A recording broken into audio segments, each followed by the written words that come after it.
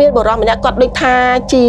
ជនបនេចរគាត់ដើរកាត់ពីភូមិមួយចូលភូមិមួយអញ្ចឹងក៏បានមកជួបក្មេងស្រីម្នាក់គាត់ជាដូចថាមានរូបសភាអីស្រស់សភាដែរគាត់ក៏សុំចាស់ទុំអីអញ្ចឹងសែនព្រេងអីអីគាត់នៅក្នុងភូមិហ្នឹងក៏ប៉ុន្តែគាត់អត់មានដីស្រែ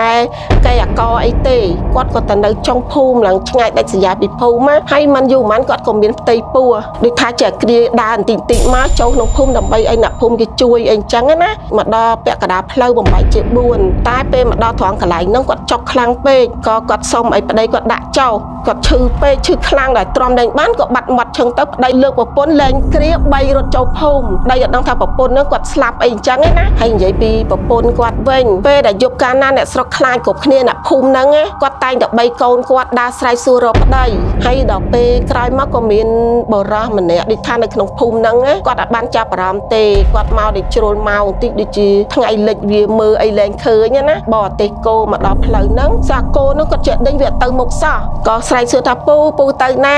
ខ្ញុំសុំទៅផងគាត់ស្កាត់ផ្លូវពីមុខហ្មងណាចឹងទៅគាត់ថាអត់អីឥឡូវនាងឡើងមកចុះអង្គុយស្រួលបួនបន្តិចទៅប្រយ័ត្នធ្លាក់ថាខ្ញុំអង្គុយចុងរទេសហ្នឹងក៏បានដែរសតចូលដល់ដើមភូមិ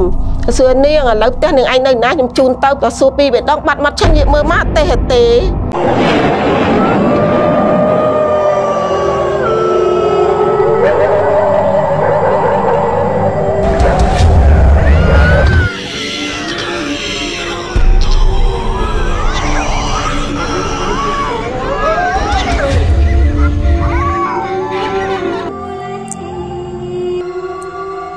បាទសូមគោរពនឹងជម្រាបសួរដល់ពុកម៉ែបងប្អូនលោកយាយលោកតានិងប្រិយមិត្តដែលកំពុងតែទស្សនានៅកម្មវិធីរាត្រីរន្ធត់នៅក្នុងសប្តាហ៍នេះជួបគ្នាសាជាថ្មីម្ដងទៀតនៅក្នុងកម្មវិធីរាត្រីរន្ធត់ដែលមានខ្ញុំបាទសេមជំនោចាស់នាងខ្ញុំលំអងក្នុងសប្តាហ៍នេះដែរក៏បានវិលមកជួបបងប្អូនតាមការសន្យាចាសន្យាជាមួយនឹងបងប្អូនថានឹងវិលមកជួបបងប្អូននៅសប្តាហ៍នេះហើយក៏សន្យាជាមួយនឹងលោកជំនោផងដែរបាទឃើញថាថ្ងៃនេះវាយឈុតពណ៌លឿងហើយ រឿងទុំរឿងទុំចារឿងទុំខ្ចៅតាមលបងក្បែរលបងវត្តហ្នឹងគេច្រឡំថាប្រសង់អីគេហ្នឹងលោកចំណូទេបើសេដើរក្បែរក្បែរលបងវត្តហ្នឹងអូច្រឡំច្រឡំខ្ញុំមើលទៅរៀងច្រឡំដែរបើកទ្វារមកមិនស្មានគុណម្ចាស់មុនមកពីខាងវត្តណាហើយមិនទៅមួយរយៈនេះបានជើញទៅដល់ណាដែរអ្នកនាងលំអង ទៅខេត្តរហូតទៅខេត្តបេសកកម្មភាគច្រើនខ្ញុំអាសាឃើញអ្នកនាងលំអងទៅខាងស៊ីមរីតចាមានទរៈអីនៅខាងនោះការងារផងតលេងផងលេឡំគ្នាតែការងារច្រើនជាង តាំងពីសុខភាពជានាមកគឺថាដើរលំហែកាយបានច្រើនចាសុខភាពល្អវិញមកដើរអត់ឈប់ហ្មងលើអត់អីទេឲ្យតែសល់លុយច្រើនចេះតែដើរទៅ ព្រោះខ្ញុំអត់សូវមានលុយខ្ញុំមិនសូវហ៊ានដើរមិនលោកចំណូលខ្ញុំដើរដើរទេតែខែខ្ញុំជិះឡានតាអញ្ចឹងចាអូអត់ដើរទេចាដើរដើរអញ្ចឹងខ្ញុំនិយាយខុសណាចាអញ្ចឹងសូមទោសបាទអរគុណណាស់យើង ក្នុងសប្តាហ៍នេះសម្ដែងសម្ដារគ្នាប៉ុណ្ណឹងចុះនៅនាងលំអងណាហើយដោយសារតែយើងក៏មានភ្ញៀវកិត្តិយសគាត់អញ្ជើញចូលរួមចង់ចែករំលែកនៅសាច់រឿងផ្ទាល់ខ្លួនរបស់គាត់ បាទប៉ុន្តែមុននឹងយើងជួបជាមួយនឹងភ្ញៀវកិត្តិយសនៅក្នុងសប្តាហ៍នេះសូមជួបជាមួយនឹងម្ចាស់ឧបត្ថម្ភកម្មវិធីបន្តិចសិន។ ទឹករ៉ែធម្មជាតិបាត់ទុំវ័នពោពេញដោយសារធាតុរ៉ែសំខាន់សំខាន់ការពារសុខភាពឆ្អឹងរក្សាលំនឹងសម្ពាធឈាមនិងកម្រិតជាតិស្ករ pH រហូតដល់7.9ធ្វើឲ្យសុខភាពល្អក្មេងជាងវ័យពីធម្មជាតិពេលកំងភ្លៀងដឹកដល់គេហដ្ឋានភ្លៀងក្រុមហ៊ុនសម្បត្តិមរតក Land Real Estate លោកអ្នកគ្រាន់តែទិញដីក្នុង1ឡូនិងទទួលបានប្រាក់ចំណូល800ដុល្លារក្នុងមួយខែចំនួន12ខែហ្វូមសម្អាតមុខមរុំ VP ធម្មជាតិមោទនភាពផលិតផលខ្មែរដំបូងគេបង្អស់ផលិតតាមរូបមន្តជប៉ុនសំពីមរុំធម្មជាតិ100%ឃើញលទ្ធផលយ៉ាងច្បាស់តែមួយសប្តាហ៍ VP ធម្មជាតិប្រភពនៃសម្រស់និងសុខភាពមានលក់តាម Pharma ឬក៏មកតាមលេខទូរស័ព្ទនិង Page បានផ្ទះអីវ៉ាន់មានអីវ៉ាន់រាប់រយមុខដូចជាសម្លៀកបំពាក់អាមេរិការបស់ប្រើប្រាស់ប្រកបដោយគុណភាពនិងតម្លៃសមរម្យចូលមើលក្នុង Page កំងអីវ៉ាន់ចាប់ពី2មុខឡើង free ដឹកជូន25ខែក្រុងសិប្បកម្មស៊ីងខៀងមានលក់គ្រឿងកញ្ចប់ដូចជាកោងៀតសាច់ជ្រូកៀតនិងសាច់មាន់ៀតដែលមានរសជាតិឆ្ងាញ់ពិសេសនិងជាផលិតផលរបស់ខ្មែរ100%គុណភាពល្អអនាម័យខ្ពស់ការវេចខ្ចប់ប្រកបដោយស្តង់ដារទាំងរសជាតិធម្មតានិងរសជាតិហឹរធានាថាឆ្ងាញ់ឆ្ងាញ់រហូតដល់លើកដៃដឹកជូនដល់គេហដ្ឋានទាំង25ខែក្រុងទិញបានកញ្ចប់ថែមជូនមួយកញ្ចប់ផ្សព្វផ្សាយពាណិជ្ជកម្មបង្ហាញផលិតផលសេវាកម្មរបស់លោកអ្នកទៅកាន់លោកទូទាំងប្រទេសបានកម្មវិធីរៀបរយរំទុកមួយខែត្រឹមតែ250ដុល្លារបាទជំរាបសួរចាជំរាបសួរបងចាបាទមានឈ្មោះអីដែរបងស្រីអឺខ្ញុំឈ្មោះមុតរិស័យមម៉ូតរាសីមុតរាសីម៉ូតរាសីចាបាទឈ្មោះឈ្មោះអឺមកព្រោះហ่ะព្រោះហើយអ្នកអឺ ណារាសីធម្មតារាសីគឺអ្នកតែតែឡើងទៅដែររហូតឡើងផងតែក៏មានថ្ងៃចោះដែរព្រោះអីពាក្យថារាសីវាមានចោះនឹងឡើងបាទវាមិនឡើងតែរហូតទេអត់ថារីបើថារាសីឡើងនឹងនឹងតែឡើងមកណាចាហ្នឹងបើហើយរាសីមានធ្លាក់មានចុះហ្នឹងហើយពេលណាដែលពេលរាសីយើងចុះស្រាប់តែដូចថាដើរទៅជួបអីខ្មោចលងអីចឹងណាហ្នឹងអាហ្នឹងចាត់ទុករាសីយើងចុះហើយណាអឺបងស្រីអ្នកនៅភ្នំពេញឬក៏នៅខេត្ត អឺខ្ញុំនៅភ្នំពេញហ្នឹងតាភ្នំពេញសុខកំណើតអ្នកភ្នំពេញតែអឺម្ដងអត់ទេស្រុកកំណើតបើខ្ញុំកើតមកគឺនៅស្រុកសេទេជិះកាច់បាត់ភ្នំយើងខេត្តព្រៃវែងហ្នឹងណាព្រៃហើយដល់ពេលដូចថាស្រុកការសង្គ្រាមខ្ញុំនៅទូចអត់ដឹងទេប៉ុន្តែមានយាយខ្ញុំក៏នៅទីក្រុងភ្នំពេញដល់ពេលអញ្ចឹងទៅដូចថាវាអពតរៀងបះបោអីអញ្ចឹងណាខ្លាចដូចថាតាខ្ញុំគ្រូបរិញ្ញាអញ្ចឹងហ៎បាទព្រោះអីខាងហ្នឹងគេអត់ចូលចិត្តខាងគ្រូបរិញ្ញាទេអញ្ចឹងក៏ខ្ញុំចេញមកនៅភ្នំពេញ ហើយខ្ញុំដឹងក្តីវិញត្រឡប់ទៅជំនាន់ប៉ុលពតវិញទៅនៅស្រុកកំណើតជំនាន់ពលពតហ្នឹងមិនមែនថាតែខាងគ្រូទេខាងចេះដឹងបណ្ឌិតនិស្សិតបញ្ញវន្តហ្នឹងក៏ចា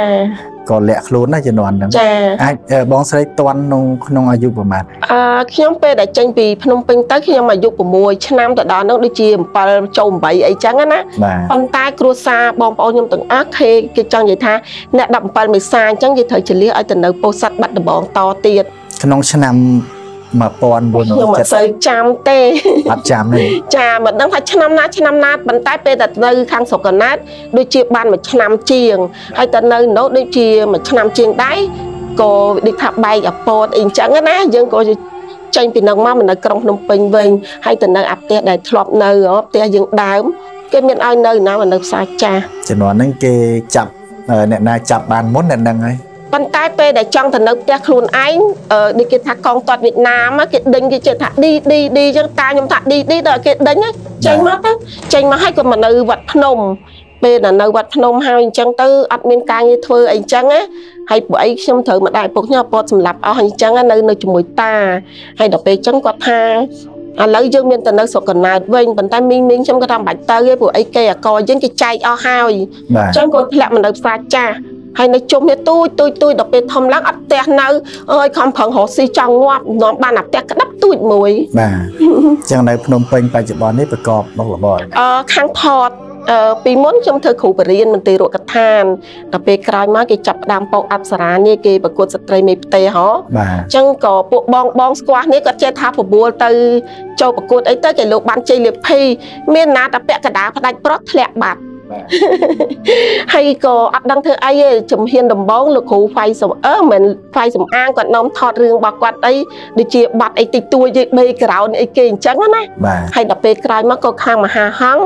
គាត់និយាយថាតាក់តងទៅឲ្យថតរបៀបនៅជាបេក្រោនដែរបាទដល់ពេលយូរយូរចេះឡើងតិចតិចដល់សប្តាហ៍ថ្ងៃទៅវាកាន់តែចាស់ទៀត ឡើងតួម្ដាយទៅជាតួយាយម្ដងអាហ្នឹងវាអញ្ចឹងអ្នកនាងលំអងអីអាចដើរទូអីបានដែរវ័យឥឡូវនេះទូឯងទៅរួចទេណាគេខ្ញុំហ่ะបាទខ្ញុំហួសហើយលោកចំនួអូនហើយវាម៉ាក់យាយដែរហ្នឹងឥឡូវហ៎ណាទេអ្នកម៉ាក់បានខ្សោយអីនៅហើយស្វ័យអាតវ័យនេះវាអត់សូវសម្បូរកម្លាំងដូចនៅក្មេងទេវ័យនេះវ័យកម្លាំងបាក់ហើយអញ្ចឹងយើងមិនអាចទូឯកអីបានទេអត់ទេតែខ្ញុំអឺអត់ ធ្វើតួម្ដាយទេខ្ញុំបើសិនជាខ្ញុំមានតែសេះរឿងមួយណាខ្ញុំធ្វើតួយាយបើសិនខ្ញុំសំដែងណាលោកចំនួនបាទខ្ញុំអត់ធ្វើតួម្ដាយខ្ញុំធ្វើតួម៉ាក់យាយបាទចាឆ្លាញ់តួអញ្ចឹងអញ្ចឹងបងស្រីក្រៅតែពីខាងអ្នកសំដែង ខាងអ្នកសំដែងអញ្ចឹងណោះចាបាទអត់មានរបរអីផ្សេងទេខ្ញុំរាល់ថ្ងៃក្រៅពីសម្ដែងនៅផ្ទះព្រោះអីបានដោយសារកូនមួយគាត់ជាផ្ដោតប្រាក់ខែចិញ្ចឹមម្ដាយអីអញ្ចឹងណាបាទតែប៉ុន្តែក៏អត់ចង់ឲ្យខ្ញុំទៅទេបាទតែបើសិនជាខ្ញុំនៅផ្ទះវិញមកទឹកអីក៏ខ្យល់ពីរដងអូបានចាន័យថាទំនេរក៏អត់កើតដែរចាក៏អត់កើតដែរតែបើបាទខ្ញុំពមៀញយកចេញទៅក្រៅហត់ខ្ញុំមកវិញធម្មតាអត់អីទេបាទតែឲ្យទៅនៅផ្ទះដឹងតែឈឺហ្មងបាទបងនៅពីរអ្នកកូនណាបីអ្នកកូនចា ប៉ាគាត់ធ្វើប៉ូលីសតែគាត់ដូចកាំងបេះដូងស្លាប់គាត់នៅកពតហ៎គាត់ខាងអឺប៉ូលីសអឺដូចថាយាមតាមប៉ុស្តិ៍ណាចាគាត់អាសាចេញក្រៅក្រៅពេកហើយអញ្ចឹងខ្យល់គាត់អត់ដឹងព្រោះអីខ្ញុំនៅពេញគាត់នៅកពតតែដល់ពេលចែកដល់ខ្ញុំទៅលេងអីចឹងទៅដូចថាគាត់ខ្យល់គាត់ណាក៏មិនមិនទេសត្វតែកាំងបេះដូងហ្មងដល់ពេលពេទ្យគេមកបណ្ឌិតមើលចឹងទៅគេថាគាត់ផ្សាយបេះដូងខ្យល់ក ហើយចឹងកូនមិនដឹងធ្វើម៉េចតាមហ្នឹងទៅចុះបងស្រីអឺមានបញ្ជនប៉ុន្មានមើលទៅសាច់នៅខ្ចីហ្នឹងលោកគ្រូស្អីអី54ហើយអូ54ចា54ហើយហ្នឹងគិតមើលឆ្នាំលការាប់ទៅវាចូល54ហើយចាបង54មានអីច្រើនបើខ្ញុំឃើញអឺពូម្នាក់ហ្នឹងគាត់ប្រហោះថាគាត់ទៅមកអាយុប្រហែល56 57ហ្នឹង 56 57ហ្នឹងបានន័យថាមិនសូវជាច្រើនហ្នឹងបើគាត់និយាយតែប៉ុណ្ណឹងហ្នឹងសូមចាំនិយាយចាប៉ុណ្ណឹចាំងថាហ្នឹងគាត់នៅណាក្មេងបាទនៅក្មេងនៅហ្នឹងអញ្ចឹងចាអឺបងស្រីទៅ54ប៉ុណ្ណឹងហ្នឹងមានអីច្រើនអីកុំនិយាយបាក់ប្រហែលម៉ាក់យាយលំអងដែរចាខ្ញុំប្រហែលអស់ហើយនិយាយណាស់ណាប្រហែលខ្ញុំដែរដែរអឺបាទអឺឆើមើលទៅក្មេងជាងខ្ញុំច្រើនបាទអញ្ចឹងអរគុណណាស់សម្រាប់ការសំណេះសំណាលនៅដើមកម្មវិធីនេះហើយចា៎អឺបងស្រីមានប្រមាណសាច់រឿងដែលចង់ចែកម្លែកនៅក្នុងសអឺខ្ញុំចង់និយាយដូចថារឿងដែលជាប់ពិតអឺជំនាន់ពលពតដែលខ្ញុំនៅតូចណាបាទខ្ញុំធ្លាប់ជួបប្រទេសជារឿងពិតជារឿងពិតប៉ុន្តែរឿងមួយជារឿងបរមបុរាណបាទប៉ុន្តែរឿងហ្នឹងក៏គួរឲ្យរន្ធត់ដែរបាទបាទហ្នឹងខ្ញុំចង់និយាយពីអញ្ចឹងបាទដូច្នេះដើម្បីកុំឲ្យទស្សនិកជនទន្ទឹងរង់ចាំស្ដាប់និងទស្សនាយូរនោះសូមអឺឲ្យបងស្រីចែករំលែកនៅសាច់រឿងតែម្ដងបាទចា ចាជំរាបសួរអឺខ្ញុំថ្ងៃនេះចង់មានបទពិសោធន៍មួយ គឺរឿងពាក់ព័ន្ធនឹងការពលឹងអរូបីអីចឹងណាហើយនេះជារឿងមិនថាជារឿងពិតឬក៏ប្រឌិតខ្ញុំក៏អត់ដឹងដែរព្រោះជារឿងចំនួនដូនតាតតមកហើយពេលរឿងមួយទៀតអានេះគឺជារឿងពិតហ្មងពួកឯងខ្ញុំជួបប្រទេសផ្ទាល់គួរឲ្យខ្លាចមែនរឿងដូនតាហ្នឹងបានន័យថាបងស្រីធ្លាប់ ឮដំណើរតពីចាតតពីจิตតាគាត់គាត់និយាយប្រាប់អីអញ្ចឹងណាហើយវាគួរឲ្យខ្លាចមែនអញ្ចឹងខ្ញុំចង់យកអារឿងហ្នឹងចែករំលែកបាទចាសូមជើញបាទចារឿងហ្នឹងវាដូចជាដំណើរមកដំបូងឡើយគឺមានបរិសម្នាក់គាត់ដូចថាជាជនបនេចរអញ្ចឹងណាគាត់ដើរកាត់ពីភូមិមួយចូលភូមិមួយអញ្ចឹងក៏បានមកជួបអឺក្មេងស្រីម្នាក់គាត់ជា ដូចថាមានរូបសភាអីស្រស់សភាដែរហើយគាត់ក៏មានប្រតិព័ន្ធតែគាត់ពីរនាក់ហ្នឹងក៏ជាក្មេងកំព្រាដូចគ្នាដែរគាត់ក៏សុំចាស់ទុំអីអញ្ចឹងសែនព្រេងអីឲ្យគាត់នៅក្នុងភូមិហ្នឹងក៏ប៉ុន្តែគាត់អត់មានដីស្រែកែអកអីទេគាត់ក៏ទៅនៅចុងភូមិឡើងឆ្ងាយដាច់ស្រយាលពីភូមិណាហើយគាត់ក៏ចាប់ដៃគ្នារកស៊ីដូចថាប្តីគាត់ ទីណាប់ប្តីប្រពន្ធគាត់គាត់ឡើងភ្នំរវល់រកអីរបៀបវិថារកខ្មុំរកអីដើម្បីយកមកលក់ដើម្បីទៅយកបានថវិកាដើម្បីចិញ្ចឹមជីវិតហើយมันយូរប៉ុន្មានគាត់ក៏មានផ្ទៃពោះហើយពេលដែលប្រពន្ធគាត់ចាប់មានផ្ទៃពោះអញ្ចឹងទៅគាត់ក៏ឲ្យប្រពន្ធគាត់នៅផ្ទះវិញគាត់ទៅរកតាមម្នាក់ឯងហើយក្រោយមកទៀតក៏ប្រពន្ធគាត់គ្រប់ខែឆ្លងទន្លេហើយយប់ហ្នឹងគាត់ចប់ពោះខ្លាំងណាស់គាត់ឈឺពោះខ្លាំង តែដោយសារហេតុផលអីគាត់អត់មានដីស្រែចម្ការអឺគាត់នៅដូចថាចុងភូមិណាឆ្ងាយពីគេដាច់អាឡ័យអញ្ចឹងហើយប្តីក៏នាំប្រពន្ធដូចថាចេះគ្រាដើរបន្តិចបន្តិចមកចូលក្នុងភូមិដើម្បីឲ្យអ្នកភូមិគេជួយអីអញ្ចឹងណាជួយសម្រាប់កូនឲ្យប្រពន្ធគាត់តែដល់ពេលគាត់ឈឺខ្លាំងពេកមកដល់ពាក់កណ្ដាលផ្លូវបំបែកជា4ផ្លូវហ្នឹងវាប្រជុំគ្នាជា4ណាហើយមានអាកាច់ជ្រុងនេះវាមានដើមពោធធំ ហើយដើមពោហ្នឹងដូចថាអត់សូវមានអ្នកណាគេហ៊ានឆ្លងកាត់ពេលយប់អីអញ្ចឹងណាព្រោះវាចេះតែមានរឿងគួរឲ្យភ្ញាក់ផ្អើលភ័យខ្លាចប៉ុន្តែពេលមកដល់ត្រង់កន្លែងហ្នឹងគាត់ចុកខ្លាំងពេកក៏គាត់សុំឲ្យប្តីគាត់ដាក់ចោលគាត់ឈឺពេកឈឺខ្លាំងដល់ទ្រាំលែងបានក៏បាត់មាត់ឈឹងទៅប្តីអត់ដឹងថាប្រពន្ធហ្នឹងគាត់ស្លាប់អីអញ្ចឹងឯណាបាទគាត់ចេះតែលើកប្រពន្ធលែងគ្រា3រត់ចូលភូមិហើយតំងទៅដល់មេឃវាចិត្តភ្លឺបាត់ទៅហើយ ហើយពេលទៅដល់អាមេឃរបៀបចិត្តភ្លឺអ្នកស្រុកគេឃើញអីចឹងក៏គេថាប្រពន្ធស្លាប់បាត់ឯងអញ្ចឹងគេថាគេអត់ឲ្យគាត់ទុកនៅក្នុងភូមិហ្នឹងឯណាគាត់សុំឲ្យយកប្រពន្ធទៅបញ្ចុះនៅខ្ទមហ្នឹងវិញដើម្បីដូចថាយើងស្លាប់កូនក្នុងផ្ទៃអញ្ចឹងណាចាស់ចាស់គេតែងថាដូចខ្លាចជាព្រីបិសាចអីចឹងណាហើយគាត់ក៏យកប្រពន្ធគាត់ចូលមកវិញគាត់បញ្ចុះអីអីតាមប្រពៃណីបុរាណបុរាណអីពីដើមមក ហើយប្តីនោះចាប់ពីពេលហ្នឹងទៅដូចថាគាត់រស់នៅតែឯងឯកាអញ្ចឹងណាគាត់ក៏ចំណាក់ស្រុកពីភូមិហ្នឹងទៅទៀតហើយពេលដែលគាត់ចំណាក់ស្រុកទៅបាត់សមោគាត់ឈឹងហើយក្រោយមកទៀតក៏មានថ្ងៃមួយបុរាណនៅក្នុងភូមិហ្នឹងម្នាក់គាត់ដូចថាគាត់ទៅធ្វើចំការគាត់យូរដូចជ្រុលម៉ោងអីអញ្ចឹងសូមណាសូមកាត់ប្រសាសន៍អឺបងស្រីបន្តិចមិញអឺ បងប្រុសម្នាក់ហ្នឹងគាត់3គ្រួសារគាត់ហ្នឹងស្លាប់ទាំងពោះធំចាពេលដែលដល់ពាក់កណ្ដាលផ្លូវបំបីជា4ហ្នឹងណាបាទហើយពេលដែលប្រពន្ធគាត់ស្លាប់ហ្នឹងក៏លឺសំឡេងអាលោកខ្មោចអីអញ្ចឹងណាវាស្រែកទៅហឹងអឹងកពេញទៅលើដើមពោធិ៍ហ្នឹងហើយលាយឡំនឹងសត្វផ្សេងផ្សេងអីអញ្ចឹងណាគាត់មានអារម្មណ៍ថាប្រហែលជាប្រពន្ធគាត់ស្លាប់ហើយព្រោះគាត់ស្លៀកទៅស្លៀកអាអាស្ទាបស្ទាបអាចង់ដង្ហើមគាត់ហ្នឹងណាបាទនិយាយថាវាអត់មានឃើញលុតជីបចោអីទេអញ្ចឹងគាត់ចាប់ដើម3ម្ដងចូលភូមិ ដល់ពេលព្រឹកឡើងរបៀបដូចថាចុះគ្នានៅឆ្ងាយហ៎ទៅដល់ដើមភូមិទៅ អ្នកស្រុកគេថាប្រពន្ធគាត់ស្លាប់បាត់អីអញ្ចឹងណាអញ្ចឹងនៅពេលដែលគាត់បីទៅដល់ដើមពោធិ៍ហ្នឹងគឺមានខ្លែងស្រាក់មានចាមានពេលយកពួកអីវាកដាត្រៀតហ៎បាទដល់ពេលអញ្ចឹងធម្មតាចាស់ចាស់គេតែងអ្នកស្លាប់វាមានខ្លែងស្រាក់ខ្លែងឲ្យដំណឹងអញ្ចឹងហើយចុះកន្លែងហ្នឹងវាមានខ្លែងស្រាក់វានៅនឹងស្រាប់ផងហ៎បាទហើយដល់ពេលស្រែកអីទៅហឹងអើងកងអីចឹងទៅគាត់ក៏មានការតាក់ស្លុតដែរបាទប៉ុន្តែក្តីស្រឡាញ់ណាគាត់បំបត្តិចោលដើម្បីឲ្យប្រពន្ធគាត់ឲ្យដល់ ប៉ុន្តែវាមិនដូចបំណងគាត់ណាប្រពន្ធគាត់ស្លាប់បាត់នៅកន្លែងហ្នឹងរួចទៅហើយពេលអញ្ចឹងទៅដូចថាអ្នកភូមិអ្នកស្រុកអីគេជួយអីឲ្យគាត់ទៅកន្លែងគាត់ខ្ទមរបស់គាត់វិញអញ្ចឹងណាបាទហើយពេលដែលគាត់ទៅទៅដូចខ្ញុំនិយាយចឹងគាត់អត់ដូចថាអត់មានញាតអត់មានអីអញ្ចឹងគាត់ក៏ចាប់ចាក់ចេញពីខ្ទមហ្នឹងទៅវិញបាទ ហើយដល់ពេលក្រោយមកក៏មានបរិសម្នាក់ដូចថានៅក្នុងភូមិហ្នឹងណាគាត់អាចបានចាប់អារម្មណ៍ទេគាត់មកដូចជ្រុលមកបន្តិចដូចជាថ្ងៃលិចវាមើលអីលែងឃើញណាគាត់បរទេសគោមកដល់ផ្លូវហ្នឹងសាគោហ្នឹងគាត់ចេះដេញវាអត់ទៅមុខសោះវាចេះតែដូចថាវាបោលចេញពីអាកឡុសដាក់ហ្នឹងហ៎ហើយគាត់ឆ្ងល់កន្លែងហ្នឹងបែបដល់កន្លែងរន្ធត់ដែរតែមើលចាដល់កន្លែងរន្ធត់ដែរមិនចេះដែរអត់តន់ដល់រន្ធត់រន្ធត់ហ្នឹងខ្ញុំចង់អឺរំលឹកអតីតកាលតិចនៅនាងលំអង ព្រោះការដែលនៅក្មេងក៏ខ្ញុំធ្លាប់សម្គាល់ឃើញដែរព្រោះពីជំនាន់មុនឆ្នាំ9ជាង8ជាងអីយើងនៅតាមជនបទអីសម្បូរសัตว์សម្បូរព្រៃសម្បូរអីយើងរស់នៅតាមស្រុកស្រែចំការណាកាលនោះខ្ញុំក៏ក៏ក៏ធ្លាប់ឮធ្លាប់ដឹងដែរនិយាយរួមដឹងមិនមែនឮទេរឿងដូចបងស្រីគាត់ថាសัตว์ខ្លែងស្រាក់សัตว์មៀមអីយំហ៎ ពីដើមអញ្ចឹងមែនតាឲ្យតែកន្លែងភូមិណាស្រុកណាមួយស្លាប់ហ្នឹងគឺសัตว์ហ្នឹងវាហើយយំតែម្ដុំហ្នឹងហើយចាស់ចាស់គាត់និយាយគាត់ថាថ្ងៃហ្នឹងមកអត់មានអ្នកស្លាប់ហើយតែមិនដឹងខាងណាទេនឹកខ្ញុំម្ដាយខ្ញុំឯងគាត់និយាយចឹងដែរយាយខ្ញុំក៏គាត់ធ្លាប់ប្រាប់ចឹងដែរសំឡេងសัตว์មៀមសัตว์ខ្លែងស្រាក់ដែលវាយំខ្ញុំភ្លេចទេសំឡេងសัตว์ហ្នឹងដឹងយ៉ាងម៉េចទេ ឲ្យតែវាហោះយំនៅលើអាកាសហ្នឹងគឺដឹងតែមានអ្នកស្លាប់មែន បាទហ្នឹងខ្ញុំចាប់អារម្មណ៍ទៅលើចំណុចដែលបងស្រីលើកឡើងថាគាត់3គ្រួសារទៅដល់កន្លែងហ្នឹងហើយក៏មានសម្លេងសត្វអីចឹងណាខ្លែងស្រាដូចជាលោកខ្មោចអីបោដូចថានិយាយទៅវាមានសត្វចម្រុះហ្មងធ្វើឲ្យទៅហឹងអឹងកងដូចថាគាត់ក៏គាត់ព្រឺសបល់ដែរ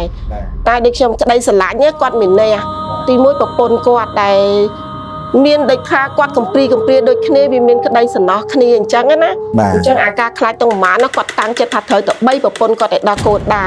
ប៉ុន្តែនៅពេលដែលទៅដល់ស្រុកភូមិដែលអ្នកអ្នកភូមិហ្នឹងអត់ឲ្យដាក់សពនៅកន្លែងហ្នឹងណាគាត់យកទៅបញ្ចុះនៅកន្លែងណាចាពេលដែលដល់ភូមិហ្នឹងគេថាគាត់គេអត់ហ៊ានឲ្យដាក់ហ្នឹងទេខ្លាចចង្រៃភូមិអីអញ្ចឹងណាបាទគេឲ្យគាត់យកសពនឹងមកវិញមកវិញដូចថាគាត់អស់កម្លាំងបាក់ទឹកចិត្តខ្លាំងក៏មានអ្នក ដូចថាលោកតានៅក្នុងវត្តចិត្តចិត្តហ្នឹងអញ្ចឹងគាត់ឲ្យខ្ចីទេគោដឹកប្រពន្ធមកវិញទៅចុះនៅខ្ទមគាត់មកចំសពចាហ្នឹងគាត់កំសត់ពួកអីដូចថាគាត់កំព្រាដូចគ្នាអញ្ចឹងណាបាទប្តីក៏កំព្រាចាប្តីក៏កំព្រាប្រពន្ធក៏កំព្រាចាប្រពន្ធគាត់នៅក្នុងភូមិហ្នឹងប៉ុន្តែគាត់នៅរស់ជាមួយដូចថាញាតអញ្ចឹងណាដល់ពេលគាត់មានប្តីគេឲ្យគាត់ទៅនៅចុងភូមិអញ្ចឹងទៅហើយ ប្តីគាត់ហ្នឹងជាដូចថាមនុស្សខ្ចាត់គេចង់ថាចាស់ពីដើមថាមនុស្សខ្ចាត់ព្រាត់អីអញ្ចឹងណាមនុស្សចអញ្ចឹងគាត់ទៅកំព្រាគាត់ជាដាក់ពីភូមិទៅភូមិមួយអញ្ចឹងអញ្ចឹងក៏មកជួបគាត់ហ្នឹងស្រឡាញ់គ្នាទៅចាស់ទុំដូចថាគេផ្សំគុំឲ្យទៅហើយដោយសារដូចខ្ញុំនិយាយអញ្ចឹងគាត់មានដីធ្លីអីដូចគេណាបាទគាត់ទៅនៅដីដូចជាសម្បត្តិដូចថាឥឡូវគេហៅសម្បត្តិរដ្ឋអីអញ្ចឹងណាខ្ទមហ្នឹងនៅក្បែរដើមពោធិ៍ អត់ទេខ្ទមហ្នឹងវានៅចិត្តជើងភ្នំវិញណោះខ្ទមដែលគាត់ស្នាក់នៅហ្នឹងចាហើយអាដាមពោហ្នឹងវាផ្លូវបាយជ័យជា4ចូលភូមិបាទគាត់នៅដូចថាឥឡូវដូចថាជនបទដាច់ស្រយាលអីចឹងគេហៅរបៀបចង់កាត់មាត់ញោកអីចឹងណាបាទអញ្ចឹងគាត់ក៏យកសពប្រពន្ធហ្នឹងមកបញ្ចុះនៅខ្ទមរបស់គាត់ចាហ្នឹងហើយពួកអីក៏អត់មានដីមានអីគាត់មានតែមួយខ្ទមហ្នឹងទេបាទប្រហែលជាឆ្នាំណាដែរដឹងទេរឿងហ្នឹងបងនិយាយទៅ ឆ្នាំហ្នឹងមិនមែនក្នុងសម័យយើងក៏មិនយូរណាស់ដឹងតាចាបាទរបៀបដូចថាគាត់និទានប្រាប់គាត់ថាជារឿងពិតនៅក្នុងភូមិរបស់គាត់ហ្មងបាទហើយអញ្ចឹងខ្ញុំចេះតាមអាស្ដាប់ទៅខ្ញុំចងចាំមកទល់ឥឡូវខ្ញុំថាបើសិនជាមានកម្មវិធីអីមួយអញ្ចឹងខ្ញុំចង់និយាយរឿងហ្នឹងពួកអីខ្ញុំចង់ដឹងហើយចង់ទីថាចង់ចែករំលែកចាចាឲ្យគាត់ដឹងថាតើរឿងនេះពិតឬក៏មិនពិតឲ្យគាត់ពិចារណាអីអញ្ចឹងទៅណាបា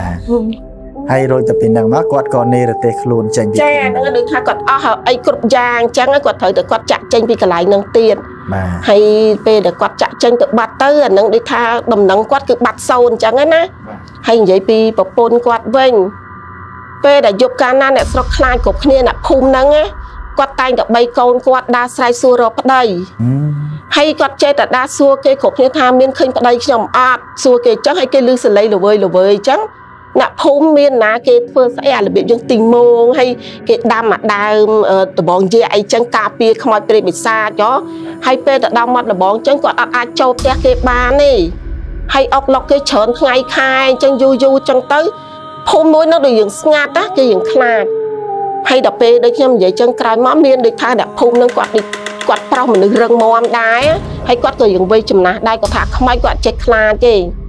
គាត់ទៅធ្វើចំការនៅជើងភ្នំ ហើយមកដល់ផ្លូវនឹងភ្លាមសត្វតែគាត់ដូចខ្ញុំនិយាយចឹងអាគោនេះវាអត់ព្រមទៅមុខទេហើយអាទេសហ្នឹងវាចេះចង់ដាច់អាកន្លោះគោនេះចេញពីអាទេសហ៎គាត់ក៏ចុះចាប់ចាប់ហ្នឹងថៃហ្នឹងគាត់ដងក៏មកដូចអត់មានអីទេសោះឥឡូវថ្ងៃនេះដូចជាមានខ្យល់ត្រជាក់អីហើយឥឡូវកុំតន់កុំតន់ដល់គោនោះឯងនឹងចាំតិចសិនឲ្យទស្សនិកជនរងចាំបន្តិចសិនហើយគាត់នឹងឲ្យគាត់អឺ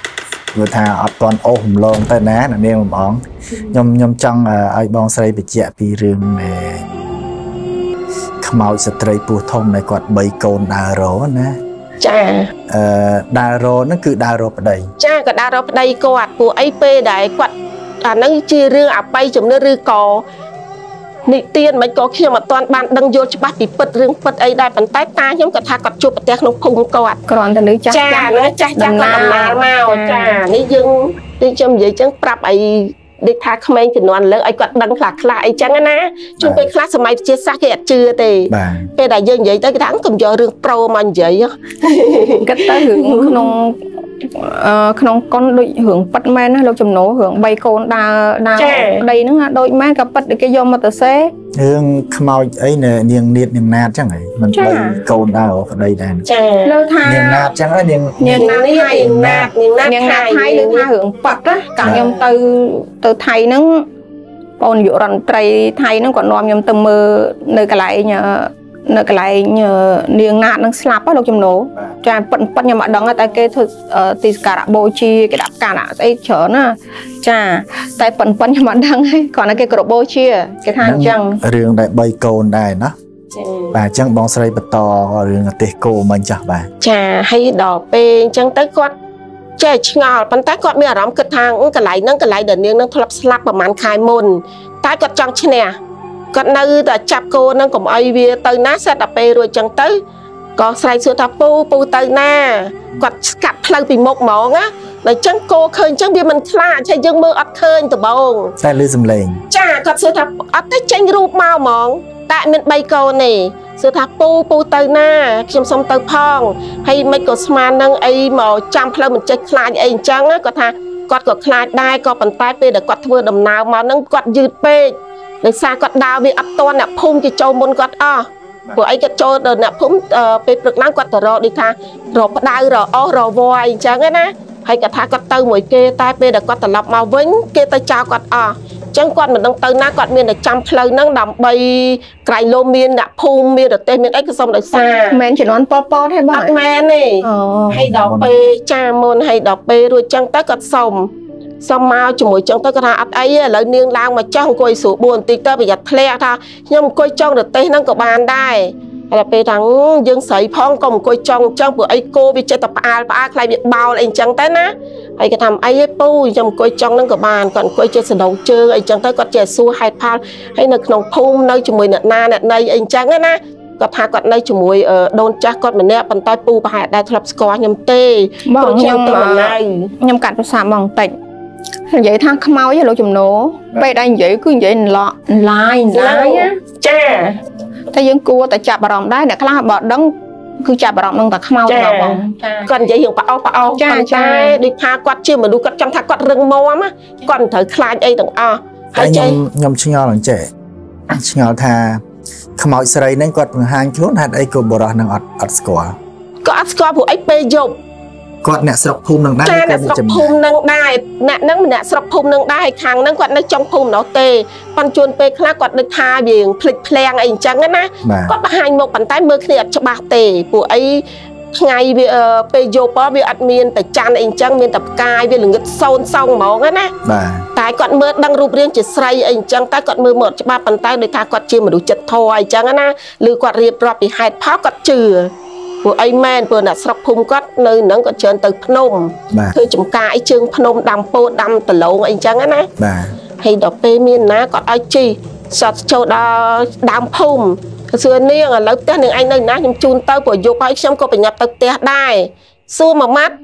អត់លឺមាត់ឆ្លើយបាទសួរពីរបីម៉ាត់នាងហើយមិនក៏នាងឯងមិននិយាយមួយខ្ញុំផ្ទះនៅណាសតដល់ពេលអញ្ចឹងគាត់ចុះគាត់ចេះបោលអស់ទៅគាត់មានមើលក្រោយណាគាត់សួរពីរបីដងបាត់មាត់ចឹងងាកមើលមកអត់ទេហេទេសើចំនាងនឹងគេខាត់ទៅជាមួយឥឡូវបាត់ទៅណាសូនឈឹងអញ្ចឹងគាត់ចេះឆ្ងល់តែគាត់តាំងអារម្មណ៍គាត់ដឹងថាខ្មោចនៅនឹងលងគាត់ហើយគាត់ក៏តាំងចិត្តថាអត់ គាត់អត់មាត់អត់ព្រះប្រពន្ធកូនឲ្យដឹងខ្លាចខ្លាចអញ្ចឹងណាបាទហើយគាត់ក៏ទៅផ្ទះដូចថាមួយទឹកមួយអីក៏សម្រានលងលក់ទៅហើយក៏អំណេតមកទៀតមានបរិះម្នាក់មិនមែននៅភូមិហ្នឹងឯងគាត់អត់ដឹងរឿងអីទេហើយគាត់ដូចថាគាត់នៅក្មេងនៅកន្លោះអីចឹងណាគាត់មិនមែនធ្លាប់មានកូនប្រពន្ធអីដែរចេះខ្ញុំខ្ញុំសូមឲ្យបងស្រីបញ្ជាក់ថាពូម្នាក់ដែលគាត់បរទេសគោហ្នឹង ក៏អត់មានចាប់អារម្មណ៍ថាខ្មោចលងគាត់ពេលដែលមុនឲ្យជីក៏អត់ចាប់អារម្មណ៍ទេតែពេលដែលពេលងាត់គាត់ងាកមើលក្រោយអត់មានឃើញមនុស្សហ្នឹងគាត់ចាប់អារម្មណ៍គាត់ថាគាត់ពិតជាខ្មាច់លងហើយគ្មានខ្មាច់អ្នកណាលងក្រៅពីនាងដែលមានស្លាប់ទៅមានកូននៅក្នុងផ្ទៃហ្នឹងឯណាបាទគាត់ដឹងក៏ប៉ុន្តែគាត់ថាគាត់ទុករឿងហ្នឹងម្លាយសិនដើម្បីកុំឲ្យក្រុមគ្រួសារគាត់ភ្ញាក់ផ្អើលអីអញ្ចឹងណាបាទគាត់ក៏ទុកសិនទៅទុកសិនទៅក៏ឆ្លេះពីមានបរិះម្នាក់ដូចខ្ញុំនិយាយមិនអញ្ចឹងណា គាត់នៅភូមិផ្សេងឯងប៉ុន្តែធម្មតាការរកស៊ីអាផ្លូវបែកជា4វាមានច្រើនភូមិហ្មងគាត់មានដឹងឯងហើយគេចេះនិយាយប្រាប់ដែរថាកន្លែងនោះខ្មោចលងខ្លាំងណាស់តដដូចថាជួនកាលតលាក់សក់អង្គុយលើអាដើមពោជួនកាលឃើញយោងរឹងបំពេកូនអីអញ្ចឹងណាហើយគាត់ថាគាត់អត់ជឿដែរប៉ុន្តែគាត់ដូចថាមិនដែរមកគាត់ដូចថាថ្ងៃហ្នឹងដូចថាយប់ដូចគ្នាអញ្ចឹងណាបាទគាត់ក៏មកផ្លូវហ្នឹងប៉ុន្តែមិនមែនផ្លូវស្របទៅភូមិកាំណោះគាត់ទៅភូមិកាំណោះវិញវាមានលិចកាត់ជើងត្បូងអីអញ្ចឹងណាព្រោះវាបំបែកណា ហើយពេលដែលគាត់មកដល់ត្រង់ហ្នឹងក៏មានស្រីម្នាក់អង្គុយយំអង្គុយយំចាយំយំយំហ្នឹងកូនឯងកុំយំយំយំថាពេលគាត់សួងមិនយប់ស្មាននេះក៏មានមនុស្សស្រីយំហើយដល់ពេលចុះឲ្យសំឡេងដូចថាខ្លាញ់ស្រាក់អីដដែលទៅហឹងអឹងអាប់ចឹងតែគាត់ធម្មតាមនុស្សប្រុសវាតែងដូចថាគាត់ជឿជាក់ខ្លាំងណាគាត់មិនសូវចេះខ្លាចអីទេគាត់ក៏ពេលចឹងក៏សួរថាម៉េចក៏អីមកយំអីអញ្ចឹងអើខ្ញុំយំដោយសារអីខ្ញុំវែងផ្លូវ ពួកអីពេលយប់អញ្ចឹងខ្ញុំរកផ្លូវអត់ឃើញទៅផ្ទះទេឥឡូវខ្ញុំសុំស្នាក់អាស្រ័យទៅជាមួយផងហើយគេថានាងស្រីអញ្ចឹងខ្ញុំប្រុសកន្លោះអីចឹងទៅជាមួយគ្នាវាអត់កើត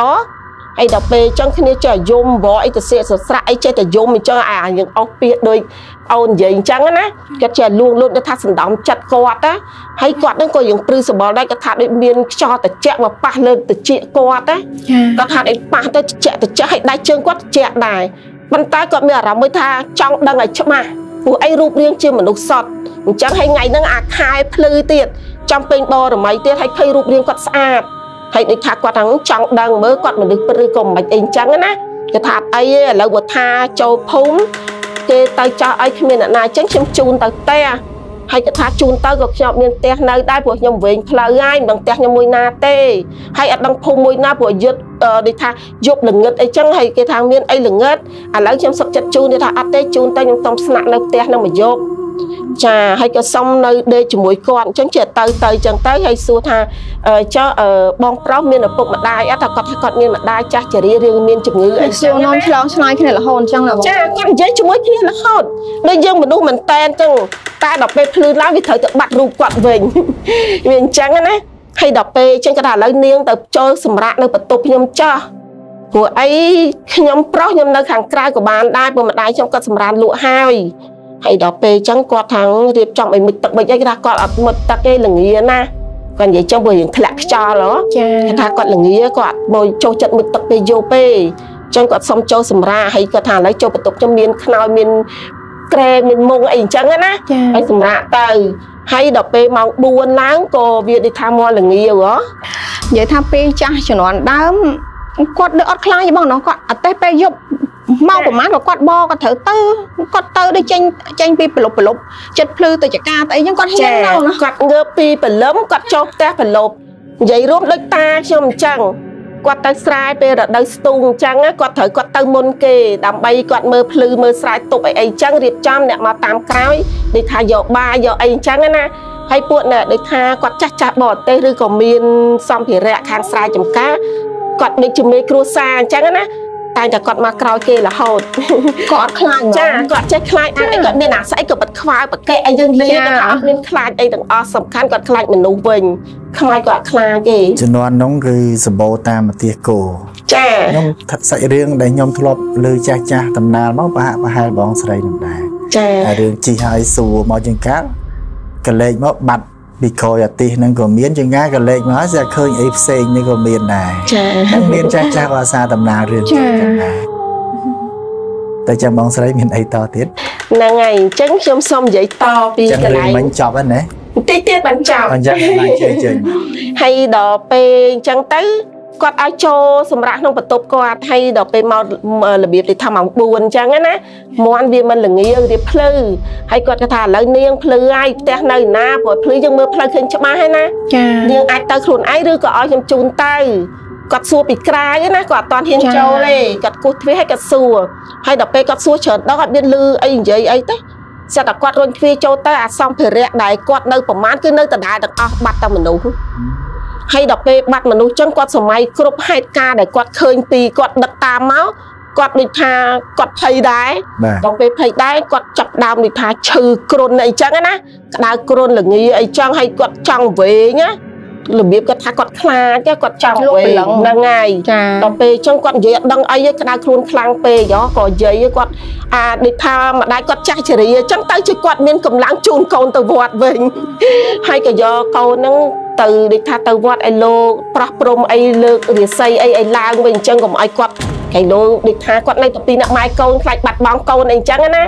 ហើយក៏លោកសោតធរអីបដោះគ្រោះអីអីអញ្ចឹងទៅក៏អ្នកភូមិប្រធានភូមិហ្នឹងគេថារឿងហ្នឹងវាអត់កើតទេព្រោះអីសំបីតែផ្ទះគាត់ក៏នាងនឹងដាស់ស្រែកសួររកប្តីដែរឮសំឡេងល្វើយល្វើយរហូតអត់ដែលមានអ្នកណាហ៊ានចាញ់ទេហើយដល់ពេលអញ្ចឹងទៅមានណាលោកគាត់មុនលោក3អង្គអញ្ចឹង ទៅដូចថាយើងទៅសោតមុនសោតអីអីដូចថាហសកម្មអីគាត់អីគាត់ទៅចាប់ជាតិអីអញ្ចឹងណាបាទទៅដើរកន្លែងខ្ទមគាត់ទៅដល់ពេលចាប់ពីថ្ងៃតទៅដូចថាវាអត់សូវលឺលងលឺអីអញ្ចឹងណាហើយអ្នកភូមិគាត់ដូចមានសេរីភាពយកប្រលប់អីគាត់ហ៊ានណាអត់ដូចមុនទេហើយអញ្ចឹងខ្ញុំបានសេចក្តីថារឿងនេះវាត្រូវតែចប់ប៉ុណ្ណាហើយក៏ប៉ុន្តែខ្ញុំកោតចិត្តដែរកោតចិត្តដែលថាគាត់អត់មានឆ្ងល់គាត់ច្បាស់ឲ្យឆ្ងល់ដែរថាហេតុអីបានជាមានមនុស្សស្រីកណ្ដាលយកទៅឈរសុំអតេគាត់ជិះ មកជាមួយគាត់គួរតែឆ្ងល់ដែរចាគាត់ឆ្ងល់ប៉ុន្តែតែគាត់គាត់តាំងចិត្តមិនខ្លាចហ្នឹងហើយគាត់មិនខ្លាចគាត់មិនខ្លាចចាគាត់ចង់ថាគាត់ធ្វើអីឲ្យដឹងច្បាស់តើមនុស្សឬក៏ខ្មោចអីអញ្ចឹងណាចាតែបើដូចពួកយើងឥឡូវឥឡូវបំរុតផាសកញ្ញាអូគ្មានណាហ៊ាននៅមិនដាក់ទេអីទេ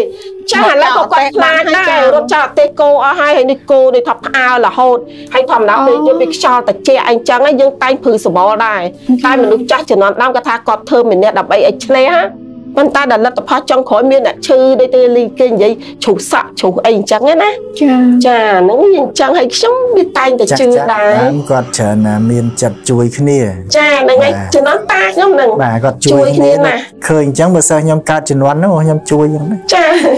ព្រោះអីជំនាន់នេះថាយើងមនុស្សតិចអញ្ចឹងណាបាទយើងត្រូវតែជួយគ្នាទៅវិញទៅមកមិនដូចយើងឥឡូវច្រើនទេបង្ហាញរូបរាងអញ្ចឹងមកយើងមិនដឹងថាខ្ញុំចាហ្នឹងហើយទាំងគេទាំងខ្ញុំអត់ដឹងទេប៉ុន្តែវាថាចម្លែកទាំងថាវាតិចវាគាត់ចឹងថាចង់បានតិចគ្នាជិះមកជាមួយហ្នឹងហ្នឹងហើយបានជាគ្នាមិនដឹងថាគ្នាហ្នឹងមិនមែនជារូបតែចិត្តសំខាន់ណាឆ្លើយឆ្លងរហូតដល់ផ្ទះចានិយាយគ្នារហូតដល់ដល់ដូចថាវគ្គមុនអញ្ចឹងដល់ដើមភូមិបាត់មនុស្សអញ្ចឹងហើយបើដូចខ្ញុំអីខ្ញុំមិនដឹងគិតមិនទេនេះ តែបើថាបង្ហាញអីផ្សេងក្រៅពីមនុស្សអាហ្នឹងវាគួរថាយើងខ្លាចណាចាបើចេញមកឧទាហរណ៍ទៅចេញរូបនាងលំអងមកអញ្ចឹងបងសូមមកជិះអាទៀតបងណាចិត្តដាច់ហ្នឹងហើយហើយឃើញរបៀបនេះថាស្អាតទៀតណាបាទចេញហើយមនុស្សប្រុសនិងស្រីតែឃើញស្រីស្អាតអញ្ចឹងតាក់ទាញណាជឿបងអូនបាទមើលថាចេញខ្លួនអញ្ចឹងចេះឲ្យជីមើលថាត្រឹមកហោះអត់ទេហ្នឹងអត់ទេតែបងសុំទៅផងមិនបាច់ទេហ្នឹង យើងអាប់ដកសអញ្ចឹងណានឹងដឹងច្បាស់ហ្មងបាទអញ្ចឹងរឿងអឺបងស្រីឮដំណើរពីចាស់ចាស់មកចប់ប៉ុណ្ណឹងណាចាអាចុះនោះចុះសាច់រឿងបងស្រីផ្ទាល់សាច់រឿងខ្ញុំអាហ្នឹងដូចខ្ញុំនិយាយខ្ញុំនៅតូចនៅជំនាន់ពពតអាហ្នឹងខ្ញុំនិយាយពីរឿងអាស្អីអឺព្រាយអូយធំមែនតើគេថាប៉ិនឆ្អេនិយាយការពិតគឺប៉ិនឆ្អេមែន អាហ្នឹងពេលហ្នឹងខ្ញុំដូចថានៅកុមារគេប្រមុខផ្ដុំពេលយប់អញ្ចឹងណាអឺអ្នកគ្រូអីចឹងគេហៅចុះពេលយើងចេញទៅដំបងវាអត់ទាន់មានការកាប់សម្លាប់អីមនុស្សទេណាគេដូចថាស៊ាំស៊ាំសិនណាហើយគេយកដូចថាយកពួកខ្ញុំទៅដាក់មណ្ឌលកុមារទុយទុយចាប់ពីអាយុ6ឆ្នាំទៅដល់10ឆ្នាំហើយដល់ពេលអញ្ចឹងក៏ជុំគ្នាដូចថាអ្នកគ្រូគេបរៀនអីកកាយអញ្ចឹងណាព្រាមយើងសត្វតែឃើញនៅក្នុងចុងភូមិហ្នឹងគេហៅទួលអស់លោកហើយកន្លែងហ្នឹងខ្មោចហ្នឹងគេកប់ច្រើនណាស់គេថាជំនាន់ដូចថាជំនាន់ពតទៅគេកប់ច្រើនយោធាអីអីអញ្ចឹងណាស្រាប់ដល់ពេលពួកខ្ញុំអង្គុយក៏ជុំគ្នាមានណាអាព្រាយវាហោះមកឡើងមូលប៉ាន់ឆ្អេមែន ឡើងប៉ាន់ឆ្អេឲ្យភ្លើងឡើងភ្លឺអូយនិយាយទៅភ្លើងហ្នឹងវាប៉ិនឆ្អេហ្មងចាបងប៉ុនឆ្អែមកហើយក៏អ្នកគ្រូហ្នឹងគាត់ថាតើឥឡូវមិត្តមិត្តទាំងអស់គ្នាយើងនាំគ្នាអាពួកដៃគ្នាហ៎ដើម្បីឲ្យអាព្រានឹងវាអាឡេះតិចតិចតិចទៅវិញពួកមានតន់ហើយវាហោះឆ្វាយទៅបាត់ទៅហើយដល់ពេលយប់ថ្ងៃមួយទៀតខ្ញុំចុះមកបាត់ជើងអូយអាហ្នឹងមែនតែនភ័យតែប៉ុន្តែភ្លើងមិញហ្នឹងប្រកាសថាព្រាយឯងចាព្រាយពិតប្រកាសពួកអីនៅក្នុងភូមិហ្នឹងណាគឺព្រាយច្រើនណាស់ ព្រាយដូចថាពួកគាត់ដែលស្លាប់ទៅគ្មានលោកគ្មានអីអញ្ចឹងណាខ្លះខ្លាចជាព្រាយខ្លាចជាអីផ្សេងផ្សេងអញ្ចឹងណាចិត្តចំណន់អពតប៉ុណ្្នឹងឯងមិនមែនភ្លើងអាបទេ អត់ទេព្រាយមកមូលហ្មងដូចឆ្អេហ្មងឥឡូវសួរចាចាប៉ុន្តែខ្ញុំឃើញពិតហ្មងពួកក្រុមនាងកុមារពីទាំងអស់ហ្មងតែខ្ញុំមិនអាចឃើញទេពួកអីខ្ញុំមិនដែរឮតែរឿងណូពីឯងដែរប៉ិននាមណាមស្អីដល់ខ្ញុំពេលសម្លាញ់ថាឲ្យតែហោះអញ្ចឹងវាច្រើនតែអាបអត់ទេព្រាយភ្លើងព្រាយហ្នឹងគេហៅភ្លើងព្រាយតែបច្ចុប្បន្នហ្នឹងក៏នេះខ្ញុំនៅកពតក៏មានដែរពេលមុនដែលប្តីខ្ញុំស្លាប់ហ្នឹងម្ដាយក្មេកគាត់និយាយគាត់ថាឃើញព្រាយហោះមកលើដើមដូងគាត់ហ្នឹងណារាល់ថ្ងៃ ស្រាប់ដល់ពេលថ្ងៃហ្នឹងគាត់ស្លាប់ទៅហ៎ក៏ព្រាយហ្នឹងបាត់ទៅវិញទៅវារបៀបដូចថាមកយកព្រលឹងយើងតតបានអញ្ចឹងវាត្រូវយាមនៅនឹងឲ្យយកតតបានប្រហែលជាអាហ្នឹងវារឿងហ្នឹងវានិយាយទៅគេកើតពិតហ្មងបាទហើយដល់ពេលខ្ញុំនៅតូចឯងខ្ញុំចុះបាត់ជើងហើយដល់ពេលខ្ញុំអង្គុយឲ្យក្មេងមិនដឹងស្រាត់ខ្វោចចឹងទៅកាច់គូតខ្ញុំស្រាប់ដល់ពេលកាច់គូតខ្ញុំខ្ញុំងាកផ្លែត អញមិនចឹងខ្ញុំចេះឆ្ងាស់សរសេរហើយកំលេងសើចចុះគ្នាពីរនាក់អូចង្រិតអីលោតចង្រិតលោតអកោត់មែនហ្នឹងទេគេឲ្យទាញអាចកៃអាខោខ្ញុំមកទាញខ្ញុំទៅវិញទៅមកចឹងហើយខ្ញុំចេះតែទះបាច់បាច់ចឹងតែទៅបងចុះចុះពីនេះចុះពីរនាក់ហើយខ្ញុំស្មានអឺល្ងិតតែឬមានពលឺប្រច័នអីមានពលឺដូចថាព្រាលព្រាលប្រចាំវាធំដូចថាពីកើតបីកើតអីចឹងណាតែយើងអាចមើលគ្នាយើងថាយើងពិតជាគ្នាចាយើងចាអាចមើលមនុស្សស្ទង់ស្ទង់មើលដឹងប៉ុន្តែគាត់ថាងយីយើងខ្លាចដែរសាខ្ញុំស្រាត់អីបាត់ជើងមានតែគិតអីស្រាត់ស្វប់នោមទៅចុះអាលិចនោមខ្លាំងហ៎មានតែគិតអ្នកណាអ្នកណៃក្មេងផងមិនសំចៃទេទៅប្រហែលទៅអស់អាលីងមានណាគេមកកេះគូឆ្វាច់សាខ្ញុំងាកមើលសងខាយសួរអាមួយនោះគេនៅអង្គុយខាងនោះទេខ្ញុំថាមិត្តមិត្តឯងអឺមិត្តកេះខ្ញុំអីតែខ្ញុំមានកេះមិត្តឯងទេអញ្ចឹងកុមារគេបរិញ្ញាហៅមិត្តមិត្តហ៎ហ្នឹងហើយគេមិនដូចយើងឥឡូវទេណា ហើយដល់ពេលអញ្ចឹងខ្ញុំព្រឺសបល់ខ្ញុំចាប់យកដៃខ្ញុំចឹងជូននោមវាគួយអញ្ចឹងអញ្ចឹងចឹងចាប់ផ្ដើមលើកខោលើកខោររត់មានណាគេទាញគូតខោទាញគូតខោខ្ញុំថាចាញ់អត់មានមនុស្សចាណាគេចិត្តតែទាញខ្ញុំថាខ្ញុំស្ទាបអត់មានទេហើយអញ្ចឹងដល់ខ្ញុំទ្រាំបានខ្ញុំងាកផ្លាច់អត់មានឃើញអីទេអត់មានឃើញហើយអាមួយទៀតថាលឿនឡើងលឿនឡើងលឿននេះបើអញចាប់គូតខោនៅហ្នឹងហើយទៅណារួចអញ្ចឹងខ្ញុំថាជួនពេលខ្លះខ្ញុំអត់ជឿតែខ្ញុំត្រូវតែជឿព្រោះខ្ញុំនិយាយប្រាប់ម្ដាយខ្ញុំគាត់ជឿ ដល់ពេលអញ្ចឹងទៅមានណារត់ឡើងកម្មចដាចដាគេ3 4កម្មឯណាគាត់ឡើងទៅជាមួយគ្នាទៅបើស្អែកឡើងអត់ហ៊ានទៅដេកនៅមណ្ឌលកុមារទេតែសស្ពះសុំគេតែខ្ញុំសុំដេកផ្ទះមកយកខ្ញុំនឹកម៉ែខ្ញុំអីចឹងណាចាចឹងក៏សុំគេដេកផ្ទះទៅហើយមានរឿងមួយទៀតខ្ញុំពេលឈឺកុមារគេយកដាក់មន្ទីរពេទ្យហើយអញ្ចឹងម្ដាយខ្ញុំទៅកដោខ្ញុំមានបងប្អូនពីរនាក់ប្រុសមួយស្រីមួយតែប្រុសហ្នឹងគាត់ស្លាប់ហើយស្លាប់ចំណាពតឈឺហ្នឹងណា ហើយដល់ពេលទៅដេកទៅមន្ទីរពេទ្យហ្នឹងមន្ទីរពេទ្យហ្នឹងវាខ្មោចយោធាក៏ច្រើនស្លាប់នៅនឹងដែរហើយដល់ពេលពួកខ្ញុំនោះទៅដេកហ្នឹងម្ដាយខ្ញុំនៅកណ្ដាលគេគាត់អោបកូនសងខាងហើយពេលដល់ដេកទៅម្ដងកេះបាតជើងម្ដងមកទាញសក់ហើយម្ដាយខ្ញុំក៏បាត់មួយចេះក៏មកក៏មកគាត់ចិត្តតែដូចថាគាត់ការពារកូនអញ្ចឹងបានតែគាត់ឃើញមែនបង គាត់មើលគាត់ឃើញគាត់មើលអត់ឃើញទេតែគាត់ចិត្តតែកាប់កាប់ហើយខ្ញុំមិនឃើញខ្ញុំដៃគាត់ដឹងគាត់មិនដឹងថាខ្មោចលងយើងអើគាត់ដឹងគាត់ដឹងដោយសារហេតុផលអីកន្លែងហ្នឹងល្បីអ្នកណាចូលកន្លងដែរអ្នកដេកមន្ទីរពេទ្យហ្នឹងលងទាំងហើយមន្ទីរពេទ្យនេះវាបាក់បែកដែរណាវាបាក់បែកដូចគេថាជំនាន់ដើមមកគេយកមកគេធ្វើមន្ទីរពេទ្យរបស់អឺប៉ុលពតអញ្ចឹងណាហើយដល់ពេលរួចប្អូនប្រុសខ្ញុំទៅទាញហ្នឹងទៅលាក់ពីលើក្រែដល់ប្រុស ហើយអញ្ចឹងយើងអាក្រែនោះវាមានល្អណាស់នាបអស័យប៉ាប៉ៅប៉ាប៉ៅហ្នឹងទាញប្រុសសំណាញ់ខ្ញុំគាត់ភ័យគាត់ញាស់សាច់ទៅធ្វើគាត់ស្ទុះលើកមកអស់ឡើងយ៉ាងដៃឡើងវិញអញ្ចឹងណាមានណាមកយប់នឹងដេកគ្មានលក់ទេហើយទាញសក់ខ្ញុំអាសក់ខ្ញុំចុះគេកាត់ឲ្យខ្លីៗឆ្មាមឯងចង់ដាច់រហូតអាសក់តិចតិចផងអើយថានិយាយទៅមកយប់នឹងដេកអត់លួអញ្ចឹងមិនថាជាតិនេះគឺមានខ្មោចឡងពិតចាមិនមែនជាការនិទានមិនមែនជាការនិយាយដូចថាបោកប្រាស់ភូតគេអីអញ្ចឹងណាប៉ុន្តែ រូបរាងអត់ឃើញទេអត់ទេឃើញតែកត្រាក់សក់ឯងមកកត្រាក់ទៅបាត់ឆឹងចឹងទៅហើយមកទាញជើងទៅបងប្អូនខ្ញុំមានណាច្រើនទម្លាក់ពីលើក្រែអានឹងវាបកាយយំពេកវាឈឺអូវាយំពេកហើយនៅលើក្រែដែលពួកខ្ញុំសម្រាប់ហ្នឹងសិតតែអ្នកស្លាប់ស្លាប់ច្រើនណាស់មួយថ្ងៃពីរបីនាក់ពីរបីនាក់យកដល់រហូតហើយមានណាដូចថាឥឡូវគេយកថ្នាំមកចាក់ឲ្យយើងអញ្ចឹងណាគាត់ថាយកអាបូមទឹកដូងនឹងមកចាក់តាដល់ចាក់ទៅវាចូលអាតសៃឈាមវាស្ទែហ៎ហើយយើងជំនាន់ហ្នឹងដឹងស្អីអបអីអឺ អូនឯងកាត់អត់តន់ទេដូចខ្ញុំទេបានយើងកាត់តន់មិនដឹងថាអ្វីលំបាកខ្លាំងណាស់រសជាតិមានគ្រប់បែបយ៉ាងទាំងអស់អាខ្មោចឡងកឡងអាទៅអត់អីស៊ីនិយាយទៅវាមានគ្រប់រសជាតិទាំងអស់បាទចឹងមិនថាជាតិនេះដូចថាយើងឆ្លងអស់ហើយ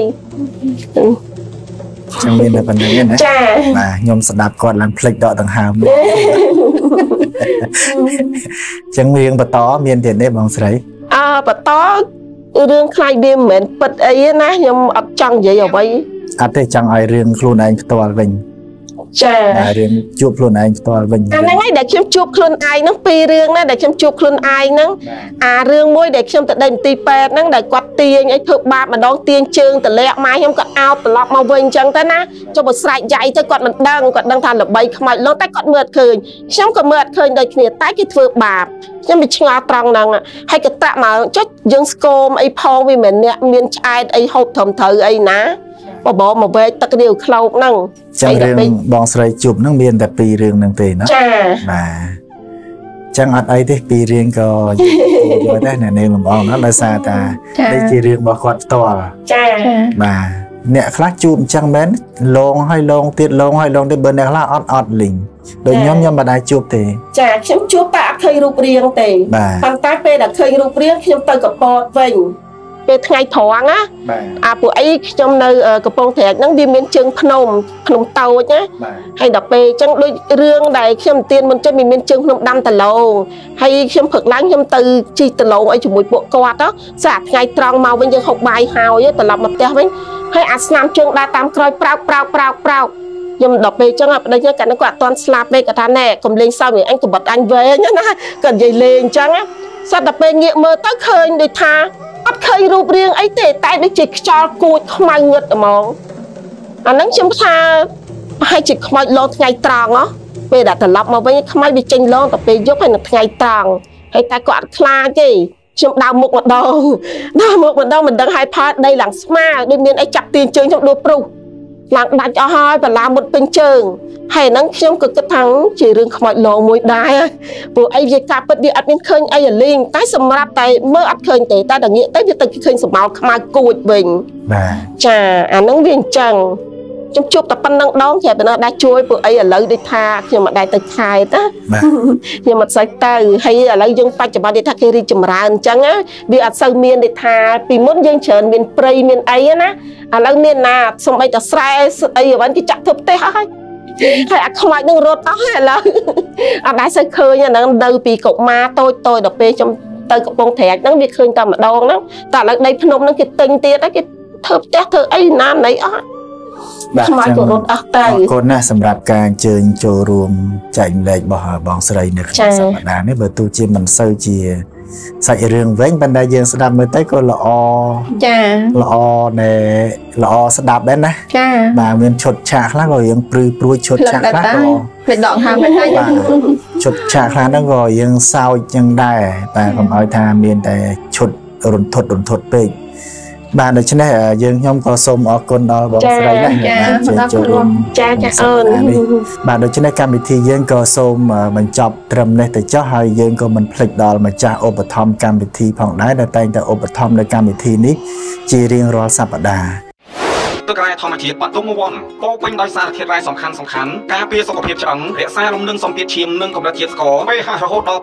7.9ធ្វើឲ្យសុខភាពល្អក្មេងជាងវ័យពីធម្មជាតិទេក៏មកភ្លៀងដឹកដល់គេហដ្ឋានភ្លៀងក្រុមហ៊ុនសម្បត្តិមរតក Land Real Estate លោកអ្នកគ្រាន់តែទិញដីក្នុង1ឡូនិងទទួលបានប្រាក់ចំណូល800ដុល្លារក្នុងមួយខែចំនួន12ខែហ្វូមសម្អាតមុខម្រុំ VP ធម្មជាតិមោទនភាពផលិតផលខ្មែរដំបូងគេបង្អស់ផលិតតាមរូបមន្តជប៉ុនសំពីម្រុំធម្មជាតិ100%ឃើញលទ្ធផលយ៉ាងច្បាស់ត្រឹមមួយសប្តាហ៍ VP ធម្មជាតិប្រភពនៃសម្រស់និងសុខភាពមានលក់តាម Farmat ឬក៏មកតាមលេខទូរស័ព្ទនិង Page បានផ្ទះអីវ៉ាន់មានអីវ៉ាន់រាប់រយមុខដូចជាសម្លៀកបំពាក់អាមេរិការបស់ប្រើប្រាស់ប្រ ដោយគុណភាពនិងតម្លៃសមរម្យចូលមើលក្នុងเพจកំងអីវ៉ាន់ចាប់ពីទីមុខឡើងហ្វ្រីដឹកជូន25ខេត្តក្រុងសិប្បកម្មស៊ីងខៀនមានលក់គ្រឿងកញ្ចប់ដូចជាកោងៀតសាច់ជ្រូកងៀតនិងសាច់មាន់ងៀតដែលមានរសជាតិឆ្ងាញ់ពិសេសនិងជាផលិតផលរបស់ខ្មែរ100%គុណភាពល្អអនាម័យខ្ពស់ការវេចខ្ចប់ប្រកបដោយស្តង់ដារទាំងរសជាតិធម្មតានិងរសជាតិហឹរធានាថាឆ្ងាញ់ឆ្ងាញ់រហូតដល់លើកដៃដឹកជូនដល់គេហដ្ឋានទាំង25ខេត្តក្រុងទិញបានទៅចប់ថែមជូនមួយទៀតចប់ផ្សព្វផ្សាយពាណិជ្ជកម្មបង្ហាញផលិតផលសេវាកម្មរបស់លោកអ្នកទៅកាន់លោកទូទាំងប្រទេសបានកម្មវិធីរៀបត្រីរួមជុំមួយខែត្រឹមតែ250ដុល្លារ លារហើយជាចុងក្រោយនេះបងស្រីមានអ្វីផ្ដាំផ្ញើទៅកាន់ទស្សនិកជនក៏ដូចជាម្ចាស់ឧបត្ថម្ភកម្មវិធីបាទចាអឺជាចុងក្រោយនេះខ្ញុំសូមផ្ដាយផ្ដាំឲ្យទស្សនិកជន តាមដាននៅកម្មវិធីរាត្រីរន្ធត់របស់គាត់ឲ្យបានច្រើនព្រោះអីវាផ្សារភ្ជាប់មកនៅរឿងអារូបីហើយក៏រឿងជាពិតជាក់ស្ដែងដែរហើយនឹងសូមអរគុណម្ចាស់ឧបត្ថម្ភកម្មវិធីនេះដែរចាអរគុណបាទអរគុណបងស្រីសាជាថ្មីម្ដងទៀតចាចាអរគុណបាទប្រសិនបើលោកអ្នកមានសាច់រឿងរន្ធត់រន្ធត់ឬក៏ពាក់ព័ន្ធទៅនឹងអាចកំបាំងនៃជំនឿផ្សេងផ្សេងៗចង់ចែករំលែកតាមរយៈកម្មវិធីរាត្រីរន្ធត់សូមអញ្ជើញទំនាក់ទំនងតាម page ផ្លូវការរបស់ Diamond Media បាទចាបើសិនជាបងប្អូនមានផលិតផលឬក៏សេវាកម្មផ្សេងផ្សេងៗដែលចង់ផ្សព្វផ្សាយកុំភ្លេចតាក់ទងមក page Diamond Media យើងខ្ញុំសូមគោរពជូនពរពុកម៉ែបងប្អូនលោកយាយលោកតានិងប្រិយមិត្តឲ្យជួបតែសំណាងល្អសុបិនល្អគ្រប់គ្រប់គ្នាសម្រាប់ពេលនេះខ្ញុំបាទសេមជំនួសចាស់នាងខ្ញុំលំអងសូមអរគុណសូមជម្រាបលារាត្រីសួស្តី ទឹករ៉ែធម្មជាតិបាត់ទុំវ័នពោពេញដោយសារធាតុរ៉ែសំខាន់សំខាន់ការពារសុខភាពឆ្អឹងរក្សាលំនឹងសម្ពាធឈាមនិងកម្រិតជាតិស្ករ pH រហូតដល់7.9ធ្វើឲ្យសុខភាពល្អក្មេងជាងវ័យពីធម្មជាតិទេក៏មកភ្លៀងដឹកដល់គេហដ្ឋានភ្លៀងក្រុមហ៊ុនសម្បត្តិមរតក Land Real Estate លោកអ្នកគ្រាន់តែទិញដីក្នុង1ឡូនិងទទួលបានប្រាក់ចំណូល800ដុល្លារក្នុងមួយខែចំនួន12ខែហ្វូមសម្អាតមុខម្រុំ VP ធម្មជាតិមោទនភាពផលិតផលខ្មែរដំបូងគេបង្អស់ផលិតតាមរូបមន្តជប៉ុនសំពីម្រុំធម្មជាតិ100%ឃើញលទ្ធផលយ៉ាងច្បាស់ត្រឹមមួយសប្តាហ៍ VP ធម្មជាតិប្រភពនៃសម្រស់និងសុខភាពមានលក់តាម Pharma ឬក៏មកតាមលេខទូរស័ព្ទនិង Page បានផ្ទះអីវ៉ាន់ មានអីវ៉ាន់រាប់រយមុខដូចជាសម្ភារបំពាក់អាមេរិការបស់ប្រើប្រាស់ប្រកបដោយគុណភាពនិងតម្លៃសមរម្យចូលមើលក្នុង page កំងអីវ៉ាន់ចាប់ពីទីមុខឡើង free ដឹកជូន25ខេត្តក្រុងសិប្បកម្មស៊ីងខៀមមានលក់គ្រឿងកញ្ចប់ដូចជាកោងៀតសាច់ជ្រូកៀតនិងសាច់បោកៀតដែលមានរសជាតិឆ្ងាញ់ពិសេសនិងជាផលិតផលរបស់ខ្មែរ100%គុណភាពល្អអនាម័យខ្ពស់ការវេចខ្ចប់ប្រកបដោយស្តង់ដារទាំងរសជាតិធម្មតានិងរសជាតិហឹរធានាថាឆ្ងាញ់ឆ្ងាញ់រហូតដល់លើដៃដឹកជូនដល់កន្លែងឋានទាំង25ខេត្តក្រុងទិញបានទឹកចប់ថែមជូនមួយកញ្ចប់ផ្សព្វផ្សាយពាណិជ្ជកម្មបង្ហាញផលិតផលសេវាកម្មរបស់លោកនេះនកទៅកាន់លោកទូទាំងប្រទេសបានកម្មវិធីរៀបរយរួមមួយខែត្រឹមតែ250ដុល្លារ